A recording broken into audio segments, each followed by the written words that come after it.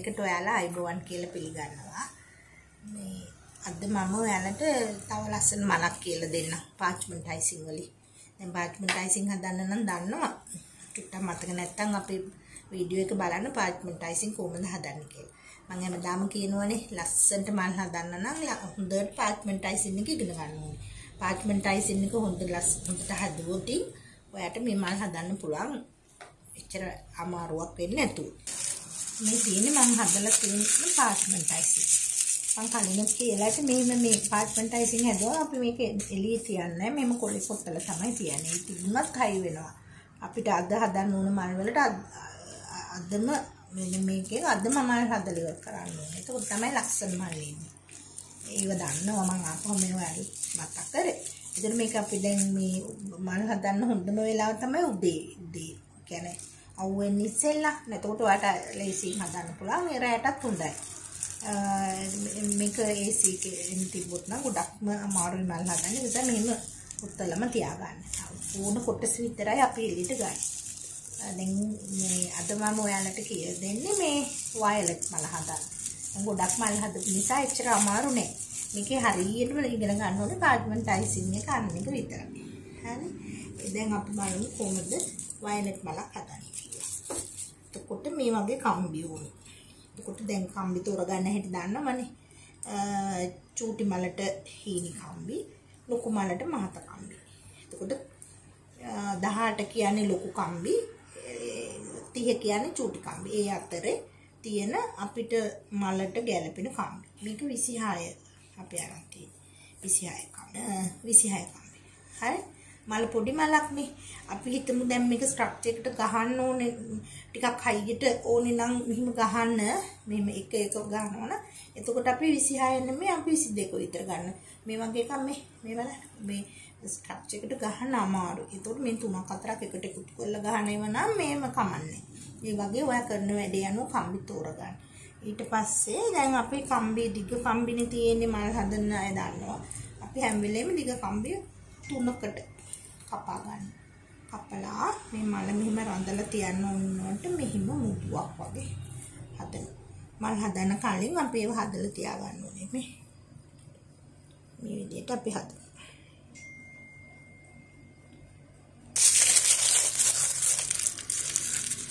ඊට පස්සේ මේ පාර්ට්මන්ටයිසින් එකට මම දැන් අපි මෙතන කෝන් ෆ්ලවර් දාගන්නවනේ. ඒක දන්නවනේ. මේ කෝන් ෆ්ලවර් දාගත්තා. එතකොට මේ වයලට් මලේ බඩ්ස් ටික අපි ඉස්සෙල්ලා හදමු.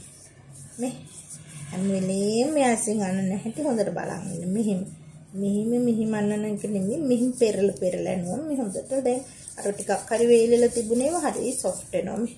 මේ බලන්න. මේ මේ විදිහට පෙරලලා. ඕව තමයි ඔයාලට මල් හදනකොට එන ප්‍රශ්න. මේ හොඳට අයිසිං එක යනකොට ඒක අපිට ඔක්කොම එකපාරට හදන්න බෑනේ. එතකොට අයිසිං එක ටික ටික වෙනස් වෙනවා. ඒ නිසා අරම පෙරල පෙරල අනන්න මේ වගේ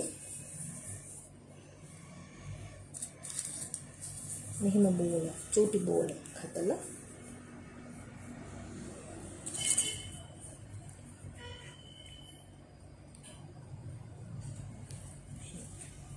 අපි මේක වේල ගන්න ඕනේ මේ. මේක තමයි මැද කොටස. මලේ. මේවා අපි මෙහෙම වේල ගන්නවා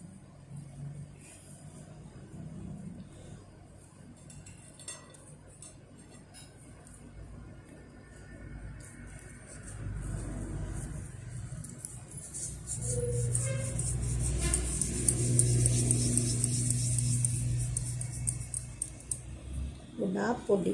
කියන්නේ ලොකුවට ගන්න දැන් මේ අපේ මෙහෙම කියලා දුන්නම සමහර වෙලාවට දැන් මීට වඩා ලොකුවට ගන්නවා. එහෙම ගන්නෑ. අපි මේ මලට ප්‍රමාණයක් තියෙනවනේ මේ තියෙන මේ මේ විදිහට ගන්න. ඒක චුට්ටක් ලොකු පොඩි හැම මලම එක විදිහට හදන්නත් එපා. මල් බංච් එකකට මල් හදනකොට එක එක එක එක සයිස් එකට හදන්න.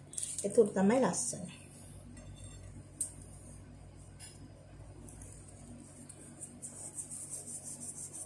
මල් හදන්න කලින් මේවා හදලා වේල ගන්න ඕනේ. නැත්තම් මේ පෙටල් එක දානකොට මේක ගැලවෙන්න පුළුවන්.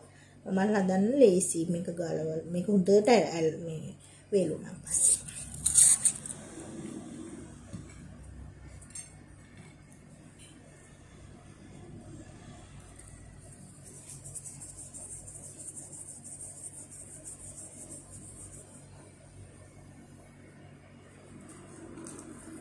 දැන් අර අයිසිං එක ආපහු ඝන වෙලා. මේ මේ විදිහට අපි මෙහි පෙරලලා පෙරලලා නාගමු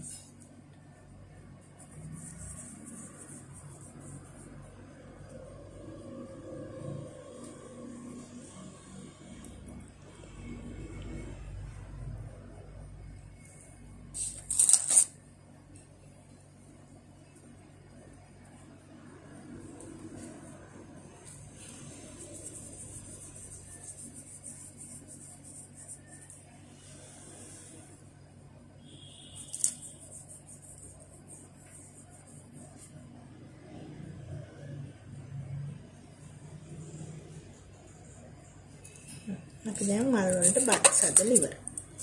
ඊපස්සේ අපි මේ සුදු පාට පාර්ච්මන්ට් අයිසිං කොටසක් අරගෙන අර විදියටම මේ මේ විදියට පෙරලලා තමයි යන්නේ. නෑ මේ කෝන්ෆ්ලවර් තමයි දාලා තියෙන්නේ.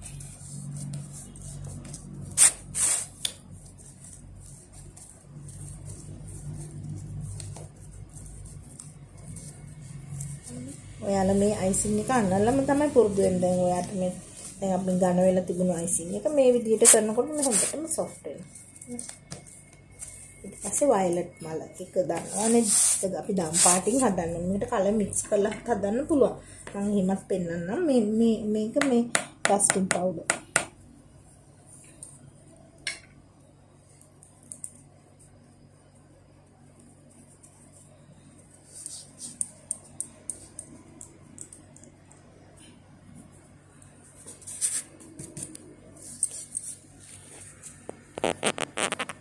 මේ විදිහට කෝන් එකක් වගේ මෙහෙම හදන්න ඕනේ.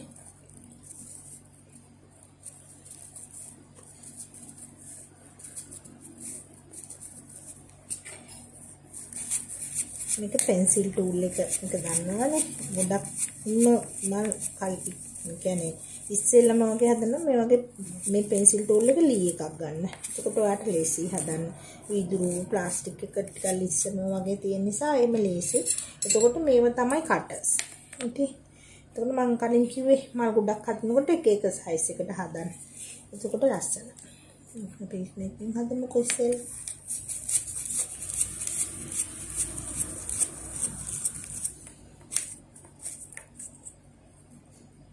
මේ විදිහට මෙහෙම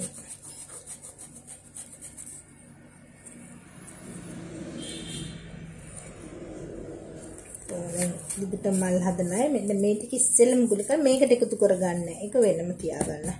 මේකෙන් තමයි මේකට ගන්න. මේක මේකට එකතු කරන්න. එතෙන්දිත් ඒ චූටි දේවල් උනාට ඔයාගේ අයිසිං එක ඉක්මනට මල් හදන්න බැරි ගන්නට එනවා. ඉතින් එතකොට දැන් මේකට මෙහෙම මේ විදිහ තුනකට. මේ දෙක සුදු පාටින් තියන්නත් පුළුවන්. උනම් කහ පාට ගා ගන්නත් පුළුවන්. සුදු පාටින් තියලා අපි හදමු. ඉතින්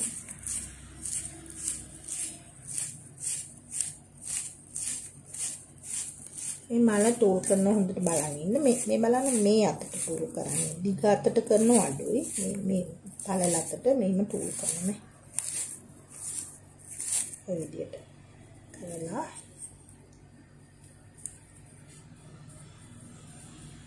එහෙනම් අපි පෙන්සිල් ටූල් එක මෙහෙම තියලා ගොඩාක් පෙන්සිල් ටූල් එක ඇතුළට කරන්නේ මල් පෙති තමයි මෙහෙම උස්සන්නේ ලස්සනට මේ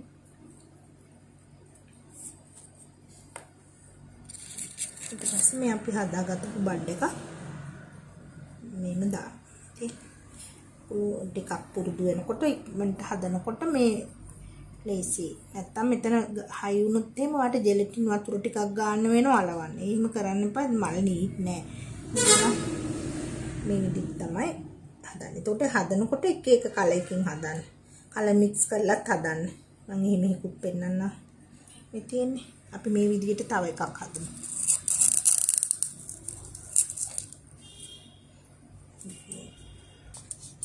දැන් මේ විදිහට අපි තව මලක් හදමු මේ මේ කටර් එකෙන් හදමු. හොඳට බලා ගන්න මේ විදිහට නේ.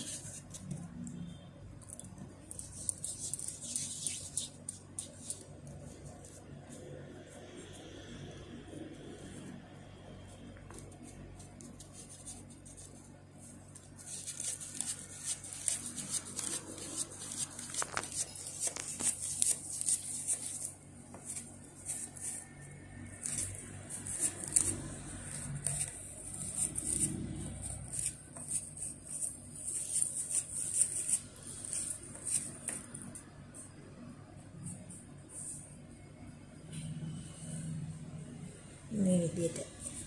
කට්ටකින් අපි කපලා මෙන්න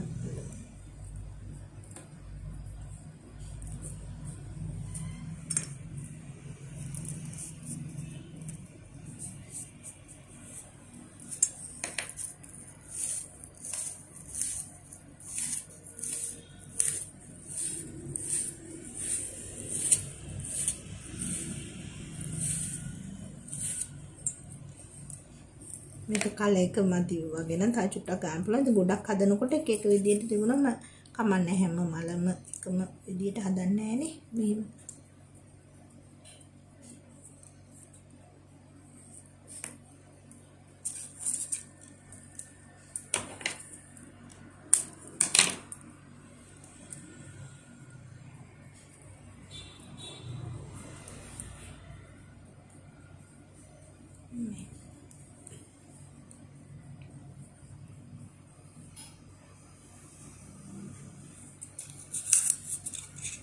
තේන්නේ දෙක දෙවිදියක්. දැන් මේකේ මම පොඩ්ඩක් මෙහෙම මෙහෙම ඉස්සලා දැම්මා. එන්න වෙනස් කරලා හදන්න. ලස්සන මල් ටිකක් නේ ඕන මේ මේ විදිහට.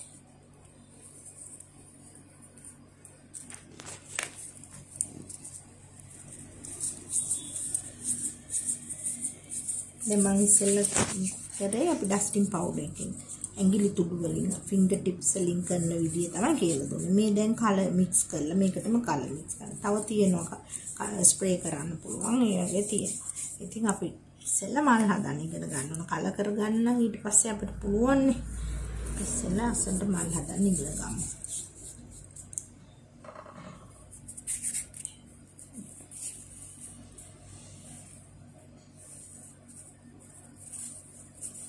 ලොකු මලක් හදනකොට මේ කෝන් එක ටිකක් මේ හයියට හදා ගන්න. එතකොට ඔයාලට කම්බියට දාගන්න ලේසි නැත්නම් කම්බිය ගැලවෙන්න බලන්න. මේ විදිහට. දැන් ඔයාලටම තේරෙනවා ඇති කලර් මික්ස් කරලා හදනකොටයි ෆින්ගර් ටිප්ස් වලින් හදනකොටයි වෙනස. දැන් මේක ඔක්කොම ටික මේ කලර් එක. දැන් අපිට ඕන විදිහට ගා ගන්න පුළුවන්. ඒක නිසා ඒ විදිහට ඕන නම් එහෙම ටැන් වලට එහෙම එහෙම කලර් කරගන්න. මේක කලර් මික්ස් කරාම වෙන්නේ මේක. මේ ස්ප්‍රේ කරාම ඉතින් කැමති තැනට ස්ප්‍රේ කරගන්න පුළුවන්.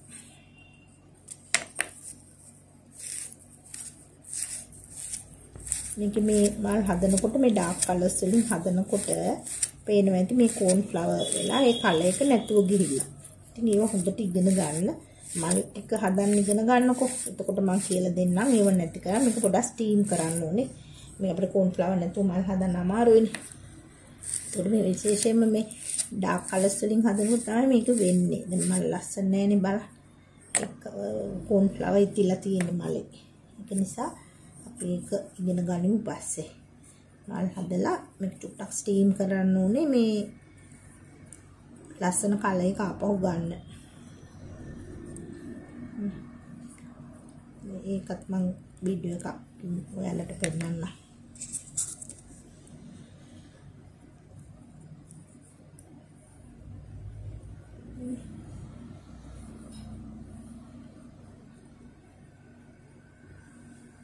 ඒ විදිහට මෙහෙම හදන්න.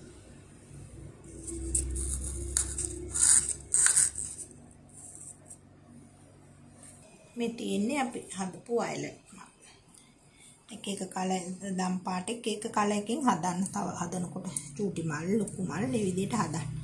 ඉතින් මේක හොඳට වේලෙන්න ඕනේ. වේල ගන්න ඕනේ. වේලුනාම මම කලින් කියලා තියෙනවනේ. බොක්සස් වල දාලා අරන් තියන්න අර ජල වාෂ්ප එන්නේ නැති විදිහට තිබ්බොත් ඔයාට මල් ටිකක් වැඩිපුර දවස් තියාගන්න පුළුවන්. අපිට ඒක කියන්න බෑ ඇත්තටම අර කොච්චර දවස් තියන්න පුළුවන්ද කියලා වහිනකොට දිය වෙනවා ඒව දන්නවනේ. මේ ඉතින් ලයිට් එකක් දාපු බොක්ස් එක එච්චරම හරියන්නේ නැහැ. ගොඩක්ම හොඳ වහින්නේ නැති දවසට හදලා හොඳට වේලුනාම මේ හොඳට වහලා තියෙන එක තමයි කරන්න ඕනේ. ඉතින් මේ වගේ මල් තව කියලා දෙන්නම්. දැන් කියලා දීපු මල් ලස්සනට පුරුදු වෙන්න. පුරුදු වෙලා මේ මොනවා හරි මේවා හදනකොට බැරි වුණොත් අපෙන් අහන්නකෝ කියලා දෙන්න. මේක වයලට් මල්. එතකොට මම කියවනේ මෙතන දම් පාට උන්න මේක කහ පාට දැන් මල් ගොඩක් හදනකොට පෙති දෙක කහ පාට වගේ දාලත් හදන්න. හිමනේ මල මේක විදිහට හදන්න එපා. ලස්සන නෑ නේද එතකොට. ඉතින් මේ මේ විදිහට අයිසින් මල් හදන්න ඉගෙන ගන්න. මේක ඔයාලට කේක් ස්ට්‍රක්චර් එකට වගේම අයිසින් මල් හදන්න ඉගෙන ගත්තොත් ඔයාලට හොඳ ආදායමක් ගන්න උනත් පුළුවන් ඇත්තට. මේ දැකලා තියෙනවනේ කඩවල් මේ ඔය කේක් බඩු තියෙන තැන්වල මල් විකුණන්න තියෙන. ඒත් ඔයාට එහෙම දාන්න පුළුවන්. ඉතින් චූටි මල වුණාට මේකෙන් ගොඩක් වැඩ කරන්න පුළුවන්. ඒක නිසා අර මල චූටි කියලා ගණන් ගන්න නැතුව ඉන්න එපා. මේක හදලා ඉගෙනගෙන ඔයා ප්‍රයෝජනවත් දෙයකට පාවිච්චි කරන්න. ඉතින් තවත් මල් හදන්න කියලා දෙන්නම්. ලස්සනට කේක් හදන්න ඉගෙන ගන්න. මම කල්යාණි මුනසි